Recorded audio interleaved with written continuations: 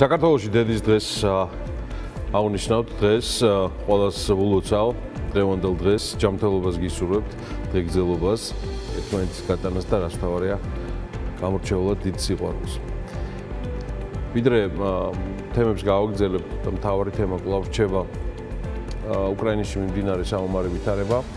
რუსეთის ფედერაცია რუსეთის ფედერაციას ერთმანეთის მიყოლებით ტოვებენ სოფლიოს სამყარო კომპანიები და ბრენდები და სახელები ვიდრე ფაქტიურად განულებულია რუსეთში საინვესტიციო აქტივობა, ვიდრე სანქციები რეალურად ამუშავდება, ცალკეული ქვეყნები მინდა გითხრათ, რომ ბედავენ და პირდაპირ აწვიან კიდეც იარაღს უკრაინას და მეტიც ამაზე ღიად და დაუფარავად აცხადებენ მედიით. ცალკეული ქვეყნები და ნატო კი ადასტურებს, რომ არაპირებს ჩარევა საომარ ვითარებაში იმის მიუხედავად, რომ რუსეთს უკვე უწევს არასრული 4 დღის წინ ამოქმედებული სანქციების სიმძიმის აღიარება. იგივე თუნდაც პესკოვის პირით, რომელიც ამბობს, რომ არაფერი სასიხარულო ამ სანქციებში არ არის. ის ადასტურებს, რომ სანქციები არის საკმაოდ მძიმე, მაგრამ არ აუშავს, მარაგებში არ აგვიშავს და მყარად გავართ ფეხზეო. ერთი ბებიაჩები თინა გოგუჩაშვილი დგას ახლა მყარად ფეხზე. და მეორე ესე. კაი, დაუბრუნდეთ საქმეს. პუტინთან ბევრი ისედაც არ რეკავს, არც ადრე და მით უმეტეს არც ახლა ხა პატიმოყარეობა ცხადია მას არ მისცემს უფლებას თავად დაურეკოს მსოფლიოს ლიდერებს. აა ამიტომაც კავშირზეა და ეძებს მხარდაჭერას თავისნაირებში, ანუ ლუკაშენკოს ნაირებში, რომელსაც ასევე მადლობა ღმერთს ევროპამაც გამოუცხადა სანქციები და გუშინ ენტონი ბლინკენსაც უსმენდი, არჩეულებრივი გამოსვლა ჰქონდა. და მალე მიხედავს ბაჭკოსაც სანქციები იქნება, იქნება ისეთივე წერტილოვანი და მიზანმიმართული, როგორიც არის რუსეთის შემთხვევაში.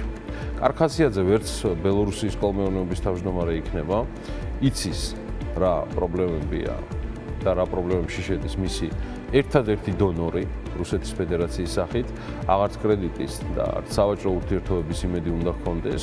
ამიტომ მით თუ არა ლუკაშენკოა ის ადამიანი, ვინც ყველაზე მეტად გზნობს ვითარების სიმწვავეს, მაგრამ რას იზავს, როგორც უყურს თქმა. უფროსის ძმა, უფროსი ძმა ამ ბოლო დროს ძალიან ხშირად იმეორებდა ამ თემას და ჩვენ შეგვიძლია ამასთან დაკავშირებით მხოლოდ ერთი თქვა, რომ ძირპი მაგრასავიცა ძირპი. ხო, ყაზახეთის პრეზიდენტს დაურეკა გუშინო ვლადიმერ პუტინმა. სულყვილია და პაპიროსი პირში ეს პროტოკოლური ჩანაწერები თითქოს პუტინმა და კასიმ ჯომარტ ტოკაევმა ეკონომიკის პრობლემებზე და თანამშრომლობაზე ისაუბრეს. უკრაინა იყო მთავარი თემა. და ყაზახეთის პრეზიდენტმა ურჩია პუტინს და ესეთი ოქროს სიტყვა უთხრა სპეციალური კავშირისას ტელეფონით კომპრომისია საჭირო. კომპრომისიო. და ეს მოლაპარაკებებზე უნდა მოხდესო. რამდენად იქნება ეს კომპრომისი? ან არის თუ არა დროული ეს კომპრომისი ომიდან 8 დღის თავზე, მე ვერაფერს გეტყვით. გარდა ერთისა, რომ სანქციების დაწესება ქვეყნისთვის არის არც თუ იოლი, მაგრამ ეს არის შედარებით სწრაფი პროცედურა, მაგრამ აი აღდგენა ყველა იმ ვთქვათ ურთიერთობისა და ყველაფრისა, რაც ახლა ჩერდება ამ სანქციების ფონზე, მე ცოტა რთულად წარმომიდგენია და ამიტომაც ველი რომ ეს ყველაფერი უკიდურესად რადიკალურ გადაწყვეტილებამდე შეიძლება მივიდეს.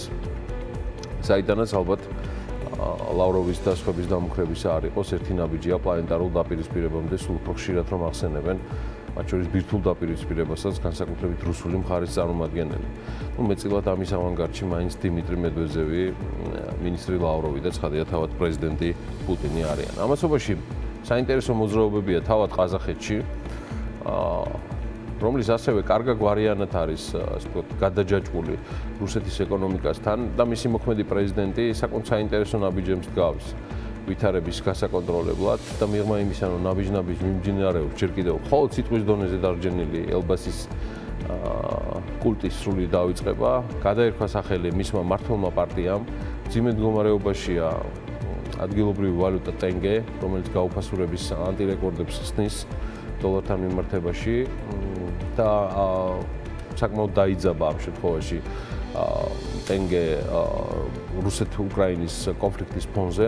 ამასობაში იანვარში განვითარებული მოვლენების კვალდაკვალ ყაზახეთში პრეზიდენტის სასახლე, რომელიც პროტესტანტების მიერ იყო დარბეულ გადამწვარ გადაბუგული, მოკლედ მიღებულია გადაწყვეტილება, რომ ამ ადგილას აღარ იქნება პრეზიდენტის სასახლე, დაშლიან ამ სასახლეს, უბრალოდ რაც დარჩა მისგან და კასიმ ჯომარ ტოკაევის გადაწყვეტილებით აქ სკვერი გაშენდება. რეკრეაციულ ზონას ზონას რო ეძახიან ჩვენში და რომ შენატრია. ესეთი ამბავია ყაზახეთში. ყაზახეთის და ნავთობის თემის გახსენებაზე ფასებს რომ ჩავხედოთ, გაზის საფასური 100 და მედვედევის პროგნოზებს და უკვე 2300 ნიშნულზე არის ფიჩერსები, ეს მოსალოდნელიც იყო და ეს არის ნაწილი იმის, რასაც ქვია, რომ ევროპასაც გაუჭirdება და ჩვენც მოგვიწევს ფასის გაზახთაო, რაც მინისტრი ბორელი და პრეზიდენტი მიშელი საუბრობდნენ. რუსეთ-უკრაინის ომისა და მსოფლიოს მასშტაბით გეოპოლიტიკური დაძაბულობის ფონზე ნავთობის ფასები ცისდება, ბრენტის ტიპის ნავთობის ღირებულება მერყეობს 109 და 111 დოლარს შორის, ხოლო კრუდ კრუდოილზე ფასმა 100 დოლარ 100 დოლარსაც მიაღწია, რაც ბოლო 7 წლის უმაღლესი მაჩვენებელია. ექსპერტების მოსაზრებით და შეფასებით უკანასკნელ პერიოდში ნავთობისა და სხვა ტიპის ენერგოპროდუქტების გაძვირება ევროპის მასშტაბით მიწოდების ჯაჭვის პრობლემის გაჩენის რისკებს უკავშირდება. ამასობაში კი ავსტრიული ენერგოკომპანია OMV Petromi, OMV, რომელიც Nord Stream 2-ის მილსადენში 10%-იანი მეწილიც იყო, პროექტში მონაწილეობის გადახედვას გეგმავს. ამის შესახებ კომპანიის მიერ გავრცელებულ განცხადებაშია საუბარი, რომელიც გუშინ აღმოაჩინეთ. კომპანია პროექტიდან გასვლის შესახებ უკვე მსჯელობს ღიათაც და აცხადებენ რომ აჩერებენ გასპრომთან მოლაპარაკებებს მათ შორის ურინგოის ოლქში. ბუნებრივი გაზის ორი საბადოს 25%-იანი წილის შესყიდვის თაობაზე. ფრის შესაძლებლადაც კომპანიამ რუსულ სახელმწიფო კომპანიასთან მოლაპარაკებები ჯერ კიდევ 2018-ში დაიწყო. ავსტრიული ოლმბის შვილობილი სხვა შორის მისი რუმინული შვილობილი OMV Petromi შავზღვაში ნავთობის და გაზის საძიებო ბოდიში ვხდი საძიებო სამუშაოებით არის დაკავებული და კი მინდა გითხრათ რომ აქ საქართველოს არის მოაზრებული მოაზრებული რა დადასტურებული საქართველოს შავი ზღვის შელფის სალიცენზიო არეალით სადაც წელს კომპანია აფსკერის 3D შესწავლასაც გეგმავს. აა ხო, კიდევ ერთი რამდენიმე ინფორმაცია იყო ჩtildeოეთ ნაკადი 2 მილსადენის კომპანიის გაკოტრების პროცედურების დაწყების შესახებ, რადგან მედიას ამ კომპანიის ამ კომპანიაში მიმდინარე სიახლეების შესახებ აცნობა შვეიცარიის ეკონომიკური დეპარტამენტის ხელმძღვანელმა. რომ Nord Stream 2-ის Nord Stream 2 არჩერებდა კონტრაქტებს თანამშრომლებთან და აპირებდა ამერიკული სანქციების გამო გაკოტრების პროცედურების დაწყებას. არ არის ეგრეო, კომპანიაში აცხადებენ, მხოლოდ თანამშრომლები გაუშვითო. და ამიტომაც ჩავაყენეთ საქმის კურსში შვეიცარიის ანუ ადგილობრივი ხელმძღვანელობაო, ხელისუფლებაო. სწორედ ეს არის მიზეზიო და რეალურად ახლა მსჯელობთო და შესაძლოა ამერიკას ნახოთ, მიმართავთ თუ არა გაკოტრების პროცედურების დაწყებით ამერიკის სანქციებიდან გამომდინარე. ისაც დანამდვილებით ვიცი, არის რუსული კომპანიის აქციები, და ყველაზე მეტად და სწრაფად მაინც გერმან გრეფის ბერი, ანუ გრეფის რა? რუსული მსხვილესი სახელმწიფო ბანკის სბერბანკი ჩამოიშალა. მისი აქციების ფაში გუშინ მოსკოვის დროით 4 საათისთვის 1 ცენტიც არ ღირდა. ეს იყო ზუსტად ზუსტად ერთი კვირის თავზე გუშინ იმაბისგან რაც ვლადიმერ პუტინმა გამოაცხადა საომარი მოქმედება უკრაინის წინააღმდეგ. სბერის რეაქცია ამაზე და არის რომ ის ისტოვებს ევროპის ბაზარს სადაც არც უსაფრთხოდ გზნობთ თავსო და იდეაში არ წერენ, მაგრამ უკვე არც არაფერი ესაქმებათ არსებული სანქციების ფონზე. ევროპა კავშირმა ამასობაში საკმაოდ მაგარი აიწყვიტა, ანა მოგახსენათ შესავალში, რომ იგრძალება ევროს შეტანა და გამოტანა რუსეთის ფედერაციის ტერიტორიიდან და გამონაკლისს წარმოადგენენ მხოლოდ დიპლომატები, საერთაშორისო ორგანიზაციები და ის რამდენიმე რომელსაც სპეციალური ნებართვა ექნება, რომ ევროპის ვალუტა თან ატარონ, ასე რომ ევროსთან დაკავშირებით ეს სიახლეებიც გუშინ დადასტურებულად გამოაცხადა ევროკავშირმა. ხო, არჩერდება ზურა პოლოლიკაშვილი და სრულად იყენებს იმ უფლებამოსილებას, რაც მას აქვს მინიჭებული გაეროს მანდატით. როგორც ამ ორგანიზაციის გენერალურმა მდივანმა აა მე შეგახსენებთ უბრალოდ დეტალებს, რომ ტურიზმის სოფლიო ორგანიზაციამ რუსეთის მიერ უკრაინაში შეჭრასთან დაკავშირებით აღმასრულებელი საბჭოს საგანგებო სხდომა მოიწვია და ორგანიზაცია იტყობინება. მე რომ სხდომა მადრიდში 8 მარტს გამართება ჩვენი მიგნება რომ 8 მარტს გამართოს ეს სხდომა.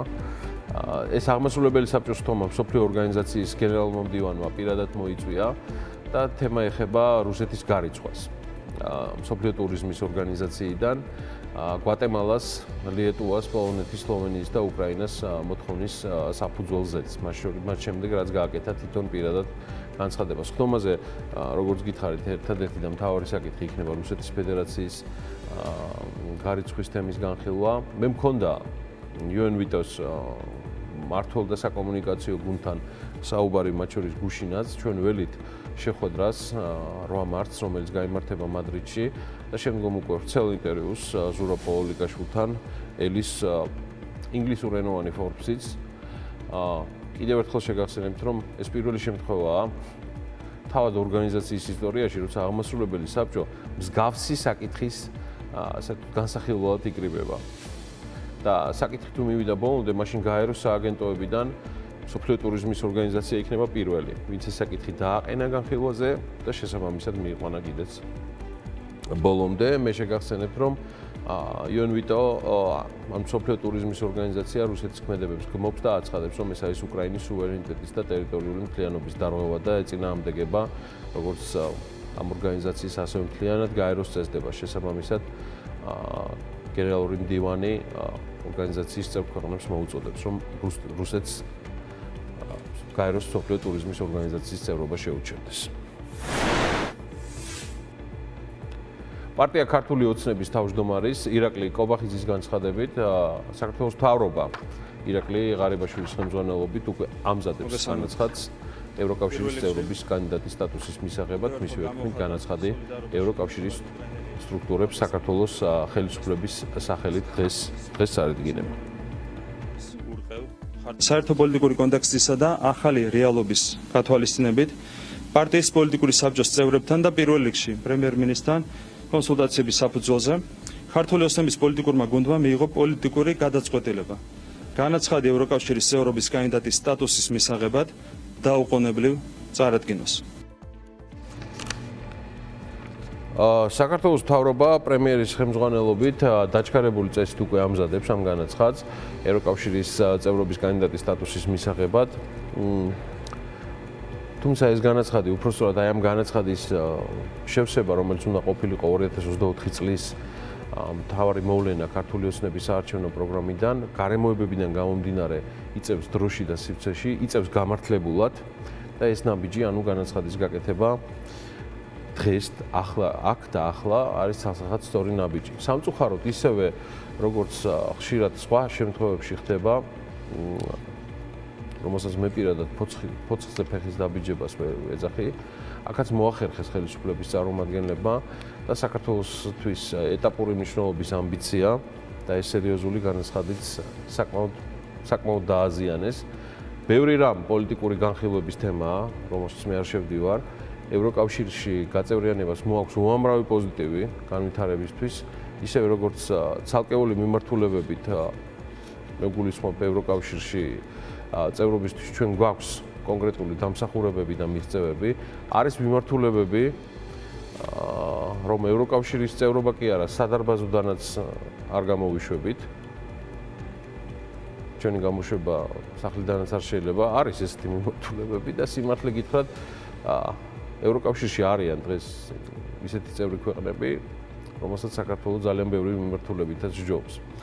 ის რაც სუბიექტურად არ მომწონს მე, როგორც ამ გადაცემის ერთ-ერთ ავტორს და რედაქტორს და რიგით ამომრჩეველს ანგრემოთ გადასახადის გადამხდელს არის ფასი, რომელსაც ჩვენ ვიხდით ამ ყველაფერში, რეპუტაციული ფასი, რომელიც თვით დაზიანებაში არაერთი ზის შემჩნეულმა ხელისუფლებამ არც მორიგჯერზე გაუშვა ხელი.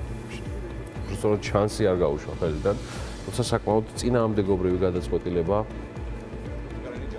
უკრაინის მხრიდან საჯაროდ გაპროტესტა იმ ფონზე, რომ ქვეყანა ან უკრაინა ლამის მთელი მსოფლიოს სახელით არის ომში ჩართული.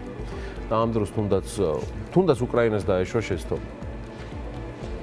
ელჩის გაწევის სახით იოლად მოგვარებადი იყო ეს ამბავი ჩემი აზრით საგარეო საქმეთა ministrების ან პრემიერ-მინისტრების მოკითხვით ტელეფონზე მაგრამ არა ეს მხოლოდ გუშინ მოხდა თორშტები ბატონ ზელკალიანის დონეზე.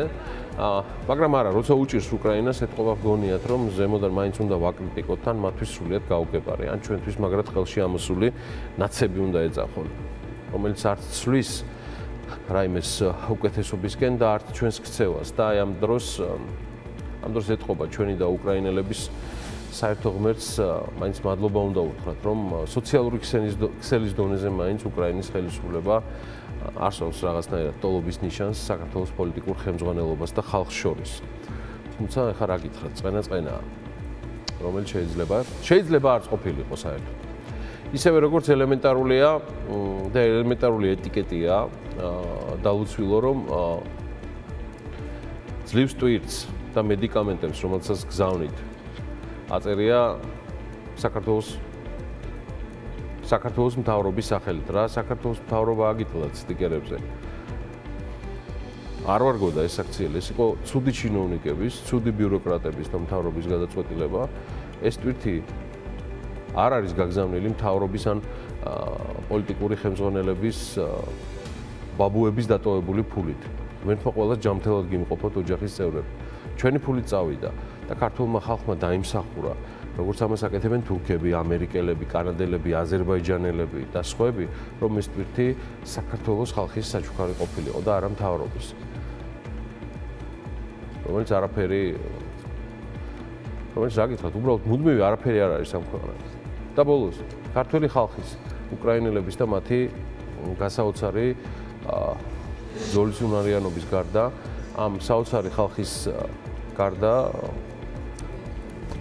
ვინც გააპროტესტეს ეს ყველაფერი რუსთავოზე ბოლო რამდენიმე დღის განმავლობაში მათი როლი არის დიდი მადლობა ევროკავშირის განაცხადის რეგისტრირებაზე ცალსახად ეკუთვნის საზოგადოებისგან საქართველოს პრეზიდენტს მე მაქვს საკმარისემეტი კავშირები და ინფორმაცია რომ დადასტურებულად გითხრათ რომ მისი როლი კომუნიცირება სატელეფონო და ინტერნეტ კავშირები პირადი შეხვედრები თბილისში და ევროპაში იყო მნიშვნელოვანი ბიძგი ამ ყოლაფრისთვის და მეტიც. ეს იქნება საბოლოო ჯამში გადამწყვეტი ის კეთილმყოფელი გარემო, რომ საქართველოს მისარგებლოს აი ამ სრულიად გაუგონარი ვითარებით, რაც ახლა ხდება რეგიონში და შეძლოს აა გააკეთოს ის და ის პერსპექტივა, ასე ვთქვათ, დავაახლოვოთ. ну, რა გითხრათ ახლა, რიში შანსი ჩვენ მინიმუმ 4-6 წელი არ გვექნებოდა. ანუ ევროკავშირის წევრობა, ეს გამორიცხულია. რეალობა არის ეს. და მადლობა ამისთვის პირველ რიგში უკრაინელებს. შემდგომ უკვე მადლობა ქართულ საზოგადოებას ამ ბოლო დღეების აქტიურობისთვის. მადლობა საქართველოს პრეზიდენტს და მადლობა დიდი და წარმატებები სხვათა შორის მინდა უსურვო სამთავრობო და საპარლამენტო გუნდებს. საგარეო პოლიტიკის მიმართულებით, მათ ძალიან დიდი და მნიშვნელოვანი შრომა ეწევათ სრულიად ფორს-მაჟორულ ვითარებაში, ვერთი თქვენსკენ და ზურგის ქარი. ხალბატონებო და ბატონებო